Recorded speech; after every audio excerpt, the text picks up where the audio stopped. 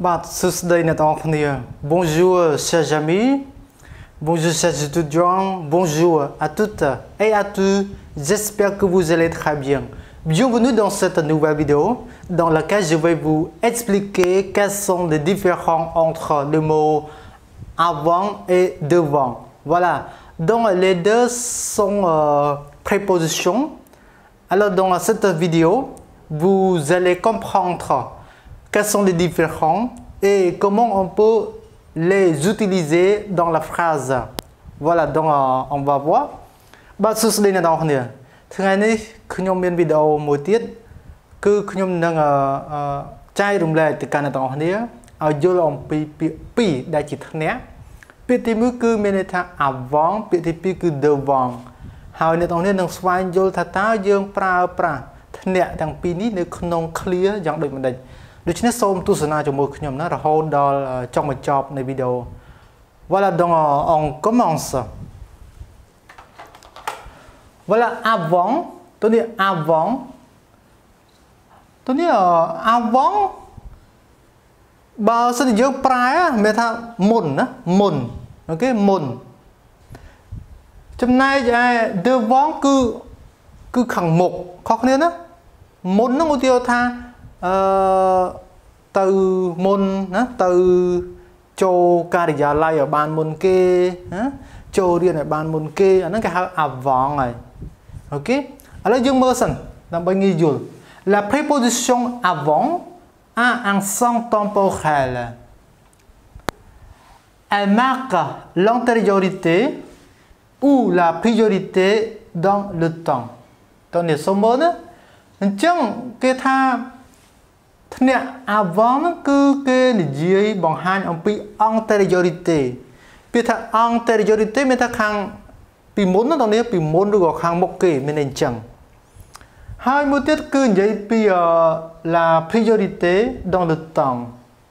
តើនេះយល់ពីថា priorité ណា priority មានថាខាងមុខណាដែលយើងឲ្យអតិភិបទៅមុនគេណាខាងមុខគេ មើលឧទាហរណ៍បានងាយស្រួលយល់ណាអូខេ si nous nous si nous nous dépêchons si nous nous dépêchons chat, c'est à chat, ensemble. Des passions, nous serons rentrés avant l'orage. OK ចឹងគេថាបើសិនជាយើងនោះបើសិនជាពួកយើងនោះប្រញាប់ហ្នឹងតោះនេះ dépêcher dépêcher នេះគឺមកពីកិរិយាសព្ទ se dépêcher ដែលមានន័យថាប្រញាប់ប្រញាល់អូខេអញ្ចឹងមានថាបើសិនជាពួកយើងប្រញាប់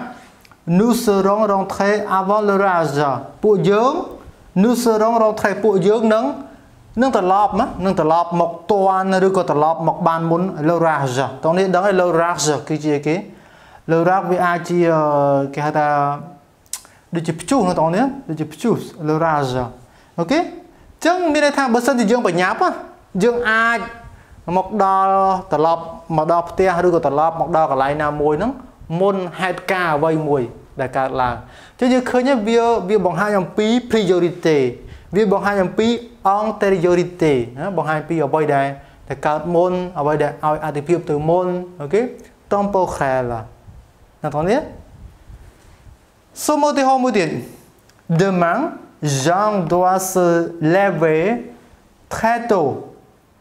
il va donc essayer de se coucher avant 22 heures មានន័យថាស្អែកនេះស្អែកនេះលោកយ៉ងហ្នឹងគាត់ត្រូវភ្ញាក់ពីព្រលឹមភ្ញាក់លឿនបន្តិចមានន័យថាអញ្ចឹងខែតោគឺមានថាលឿនហ្នឹងតើនេះភ្ញាក់ពីព្រលឹមភ្ញាក់ពីព្រឹកភ្ញាក់លឿនអញ្ចឹងជាងរាល់ដងអញ្ចឹងទៅ Il va donc essayer de se coucher avant 22 heures ដូច្នេះគាត់ត្រូវតែព្យាយាមណា il va donc essayer de faire quelque chose មានថាគាត់ត្រូវតែព្យាយាមចូលដេកមុនម៉ោង10នៅតនេះអញ្ចឹងមានថាម៉េចស្អែកនេះយ៉ងត្រូវតែភ្ញាក់ពីព្រលឹមដូច្នេះណាដងកន្លែងនេះអឺគាត់ត្រូវតែ ព្យាយាមចូលដេកឲ្យបានមុនម៉ោង22 22យើងដឹងហើយគឺម៉ោង10យប់អូខេយើងឃើញហ៎នេះគឺយើងមានប្រើប្រាស់ឲ្យគេតនេះ avant ហើយយើងមាន avant ទៀតហើយអញ្ចឹងវាជាធ្នាក់ណា avant ជិះប្រើមកថាមុនណាតនេះអូខេគាត់ណាគាត់ត្រូវតែចូលដេកឬគាត់នឹងចូលដេកឲ្យបានមុនម៉ោង10យប់ អូខេអញ្ចឹងនេះគឺជាការប្រើប្រាស់ avant មកតនេះជិះយើងមើល antériorité ហ្នឹងហើយ antériorité យើងឃើញ priorité ក៏ហ្នឹងដែរតើកូនឥឡូវយើងមើល devant វិញ devant la préposition devant a un son local elle signifie en face de មែនតើមែនតើទៅគេថា devant នោះគឺជាធ្នាក់មួយ ហើយធ្នាក់ហ្នឹងគឺមានន័យថា en face de កណា en face de គឺមានន័យថាទល់មុខណាបងប្អូននៅខាងមុខឬក៏ទល់មុខអីមួយមកឧទាហរណ៍ថាលោកឧទាហរណ៍ថា l'hôpital est en face de l'ITC មន្ទីរពេទ្យនៅទល់មុខនៅខាងមុខវិទ្យាស្ថានបច្ចេកវិទ្យាកម្ពុជាយើងឃើញទេអញ្ចឹងអានេះយើងប្រើ en face de អញ្ចឹងក៏យើងអាចប្រើថា devant បានដែរ l'hôpital est devant l'ITC អូខេ សូមឧទាហរណ៍ Julie attend Mathilde devant le cinéma គេថា Julie ហ្នឹងចាំ Mathilde នៅខាងមុខរោងភាពយន្តអូខេនៅខាងមុខរោងកុនដូច្នេះ devant តោះនេះអានេះគឺគេមិននិយាយពីពេលវេលាណាតោះនេះខាងមុខដែរប៉ុន្តែគេមិននិយាយពីពេលវេលាទេគេនិយាយពីទីតាំងអូខេគឺនិយាយពី local ណា local គេនិយាយពីទីតាំងណាមួយអញ្ចឹងវាមិនមែនតកតងទៅនឹងពេលវេលា priorité ឬក៏ antériorité ទេវាអត់ដូច avant ទេ avant បាននិយាយពី antériorité ណា priorité វានិយាយពីពេលវេលាណាតោះនេះចែកគ្នាដាច់តោះនេះសូមមើលអាមួយគឺពេលវេលាអាមួយទៀតគឺ local OK អាមួយពេលវេលាអាមួយទីតាំងទីកន្លែងអូខេ espace អញ្ចឹង Julie គាត់ចាំអាទិត្យនៅខាងមុខរោងភាពយន្ត ឧទាហរណ៍ថា moi j'attends mon frère devant l'école ខ្ញុំចាំប្អូនខ្ញុំនៅមុខសាលាយើងឃើញហ៎អានេះវាជាយើងចង់បញ្ជាក់អំពីធ្នាក់ដែលបង្ហាញពីទីតាំងណានៅខាងមុខនៅខាងក្រោយនៅអឺកែងនៅជាប់នៅក្បែរអាហ្នឹងហើយគេហៅថាជាអឺ preposition de lieu នៅបងប្អូន ទី2 passe devant moi tu marches plus vite មានន័យថានៅពេលដែលអ្នកទាំងនេះដើរអញ្ចឹងទៅដើរពី3នាក់អញ្ចឹងទៅស្រាប់តែមានម្នាក់ហ្នឹងដើរក្រោយគេយឺតជាងគេហ៎អញ្ចឹងអ្នកដែលដើរយឺតគឺយើងត្រូវឲ្យដើរខាងមុខដើម្បីឲ្យដើរលឿនជាងយើង OK មើលតែដើររៀងយឺតយើងដើរទៅប៉ះតិចទៅដើរទៅលឿនទៀតណា OK អញ្ចឹងគេថាប៉ាសទៅបងមកមកមកមកខាងមុខខ្ញុំមកមកខាងមុខខ្ញុំមក tu marche plus vite មកខាងមុខខ្ញុំមកអ្នកឯងនឹងដើរលឿនហើយដើរលឿនជាងមុនហើយ OK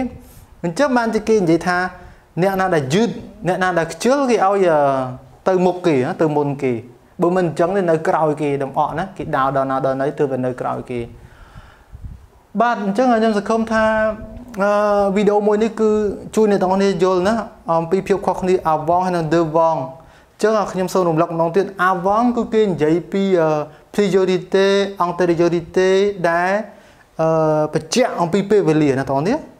ចំណែក devant គឺវាបញ្ជាក់អំពីទីតាំងពីទីកន្លែងខុសគ្នាដាច់តែម្ដងណាអញ្ចឹងអត់អាចច្រឡំគ្នាទេវាប្រែមកថាមុខដូចគ្នាមែនមិនតែមិនអាចថាពីរនឹងច្រឡំគ្នាទេន័យវាគឺខុសគ្នាអូខេចឹងអរគុណសម្រាប់ការទស្សនា ហើយយើងជួបនៅវីដេអូក្រោយៗទៀត Merci d'avoir regardé on se voit à la prochaine au revoir bonne journée